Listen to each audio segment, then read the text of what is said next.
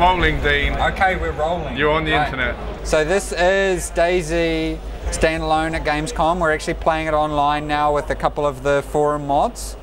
Um, so because of the way the internet works in this business booth, we couldn't join in with everyone else downstairs doing the land. So this has to be the the full the full deal. So uh, I guess some of the big improvements have been in usability. So it's a lot easier now to open the containers, and uh, it actually remembers the states of the containers when you go out. Uh, this is an example here of the first aid kit. You can actually open it and see what's inside. Uh, so I'll get out a couple of bandages. I'll get out um, get out some stuff here. Um, all this stuff. Close that up. And uh, you have here. This is. Um, so you can see some, some rifle rounds, they come in little cardboard packages.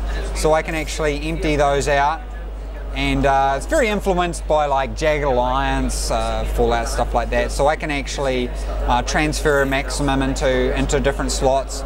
And uh, I actually want to load up a magazine, so I'm going to load a magazine. And we get a lot of context-sensitive uh, roguelike feedback uh, feedback there. So I'm going to add that magazine back to the web. Just, I guess, to um, to add the caveat, this is a very much a pre-alpha, so um, uh, yeah, it's it's potentially quite buggy. So what I'm going to do here is demonstrate uh, how I'm using something on another player. So you can see here, I've actually put the blood bag into my hand. Uh, we obviously hasn't got it positioned correct, right? And I'm actually going to um, get some blood from uh, from Quantum here, and he will actually, oh, from Snow, he will actually see a message on his screen saying, um, "Rocket uh, Two Guns is, is trying to take blood from you." So I'm actually successfully taken blood. There is a bug, unfortunately, where the damage effects are applied to my character, but just imagine for a moment that that's not how it works. So then I can actually uh, take, you can see here, this is a, a blood bag, uh, but it's not combined with an IV kit. So I can take a new IV kit and I can craft it onto the blood bag, and you can see now that the blood bag has an IV cable with it. I can then put that in my hands. Uh, where are we? Is it in my hands? We don't have an animation for it, so it's very difficult to tell if it's in your hands. So you can see now that the blood trans the blood bag is in my hands here, uh, there, and uh, I'm gonna I'm gonna give it to him. I'm sorry, sometimes we get lost in it. It's just yeah, whatever. Uh, now he's walked away. As long as he doesn't walk too far away, it'll still walk. If, if he walked too far away, uh, it would fail and, and it would come up with a message saying it's failed. So I've successfully given him a blood transfusion. Unfortunately, the effects were applied to myself. But you can see now the blood bag's gone. Uh, the same thing applies with things like syringes. So I can actually use a syringe here on him and collect a blood sample. Um, Snow's saying it works. Yeah, it kind of works. Uh, yeah.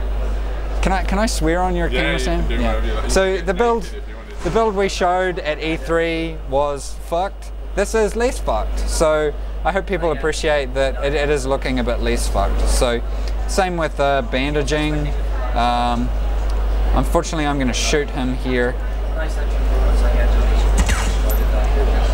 So you can see now if, if he walks around, he's in injured state. And he's got some blood pouring out of the exact spot I shot him in the leg. Um, let's shoot him in the head.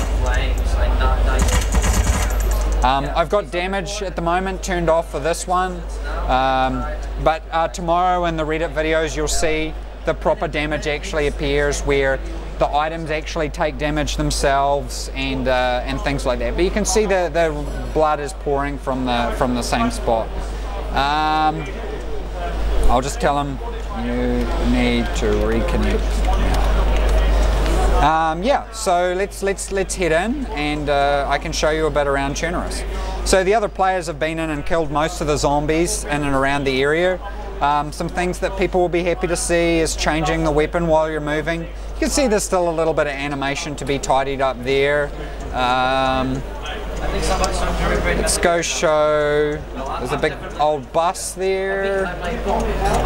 Uh, this is Stary Sobor, so you can see that it, it looks way, way, way different from how it used to look. Like there's been a lot of effort that Senshi and Ivan have put in to making it look, you know, really authentic and interesting and beautiful.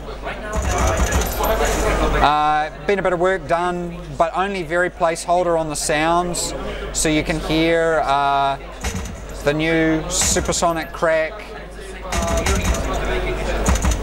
and uh, the pop. So there's still a little bit to be done with it, but it's just these little improvements that we're slowly bringing in.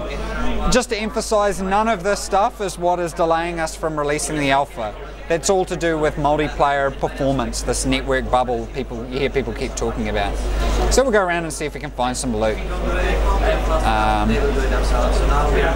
I really want to find something so I can show you crafting. People have been already all through these buildings, unfortunately. Uh, I guess we'll show people how, how to drink. So I've got this item here, same deal. I can either I could either directly interact from here, but I want to show people more about how you can interact with stuff in your hands. So if I selected it from there, it would place it in my hands anyway. So you can see it's in my hands here, in my hand, and uh, I can actually uh, drink it while it's in my hands. And it will use up a portion of the bottle you can see here, and I'm getting this rogue-like feedback now that gives me insight into where it's at. One thing I am thinking about is people who play Project Zomboid, very cool game. They provide you little moodlets, and I'm just worried that we're not providing enough information. We don't want to clutter up the UI any more than it is now, so we're thinking about putting some kind of little moodlets maybe in here. It's still a, we don't know, we, we might do it. Uh, but let's go through. Is there anything under the beds? Just while uh, it's sort of a hot topic is um, uh, first and third person, we do have some ideas about it, maybe uh, context sensitive restrictions on third person, so say no third person and uh, prone and stuff like that. Oh, hold on.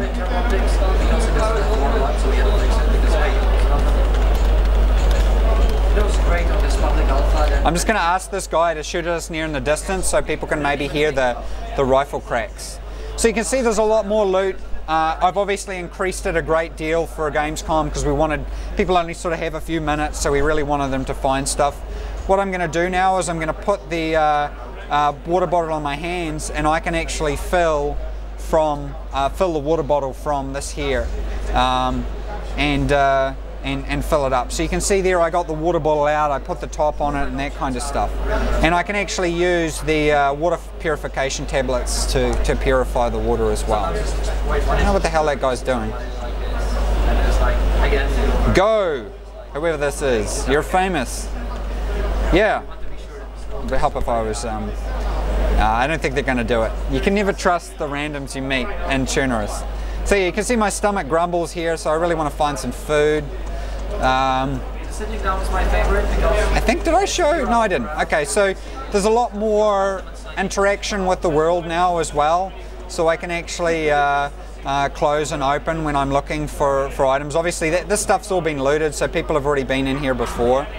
Um, you can hear some, some better uh, rifle cracks now. Keep going, dude. This is your moment.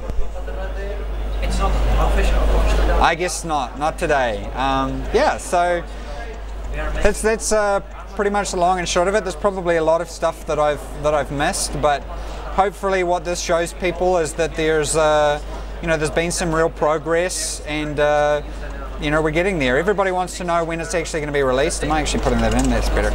Um, when it's going to be released, and the the key is that we're waiting for this network bubble to occur, and once that occurs. Uh, we're, we're good to go, and we, st we still don't have a time frame for that.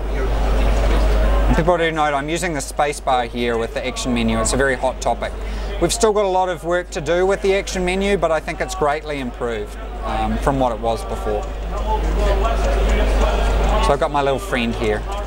I, I could just light him up and fire rounds into him, but I'm not going to. So I'm going to eat something.